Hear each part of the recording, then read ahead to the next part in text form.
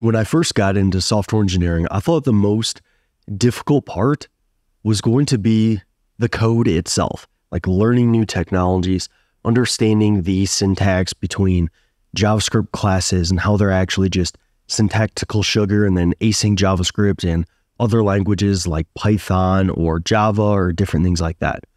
And as I've been working professionally as a full time software engineer the last handful of years, I've come to find that the most challenging aspect for me is not the code itself. And what kind of made me realize this is over the last handful of weeks, I've been spending a lot of my time, as well as other people on my team have been spending a lot of time on just upgrading packages and managing different versions of those packages. Like we recently had to upgrade React in our tech stack. We had to upgrade AWS Cognito. We had to upgrade our Amplify. We had to upgrade a whole bunch of different other things, Django REST framework. And the amount of time that this took and the difficulty of doing all this has made me realize that this is like one of the most difficult things for me, at least. Because for one, I don't necessarily enjoy this type of work, like it's kind of a necessary evil. And for two, it can be really tricky to know, like, okay, I upgraded this package, which caused an issue in this other package. And then we have to actually downgrade the version of this package so it's compatible with this package. And it is just kind of this whole, you know, cluster F of a bunch of different things that we're we're trying to do and figure out because sometimes it's hard to just upgrade one package because then it's not compatible anymore with a different package. So you have to upgrade that package and that package isn't compatible with a different package. And it can be really, really challenging.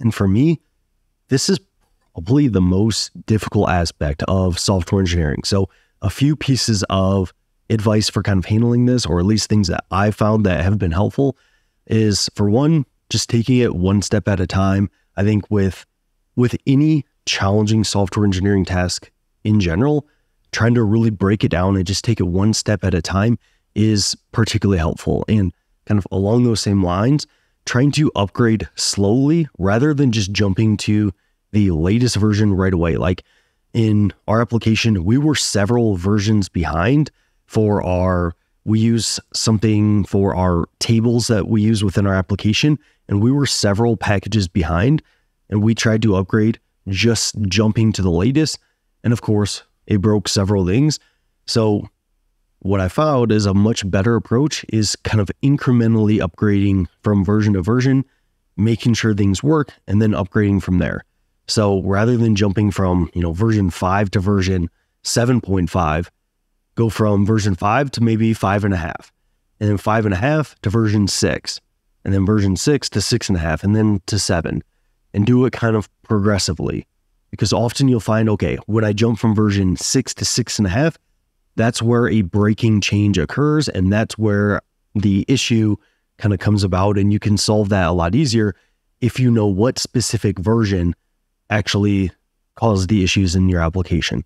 So taking it one step at a time, upgrading slowly, and then also something that uh, I was guilty of, especially early on, is not actually like thoroughly reading the upgrade documentation. And of course, sometimes the upgrade docs can be wrong, but taking the time to like read through those and see the changes and understanding the changes that need to be made and any breaking changes that the docs mentioned that can, you know, it can take a lot of time to kind of sift through the docs and figure out, okay, these are all the changes that occurred and this is what might break in our application.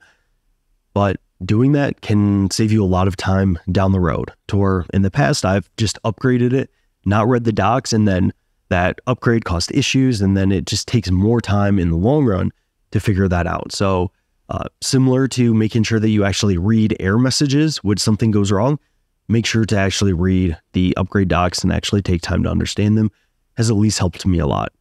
And then finally, I do this with a ton of my software engineering tasks, and it seems to help my productivity a lot. Is if you get stuck on it for a while, it can be really helpful to move to a different task and then come back to whatever task that you're stuck on. So for us, like upgrading our version of React, it was just this whole thing. There was a lot of different packages that needed to be upgraded with that as well. So it took a handful of days to kind of get that all sorted through.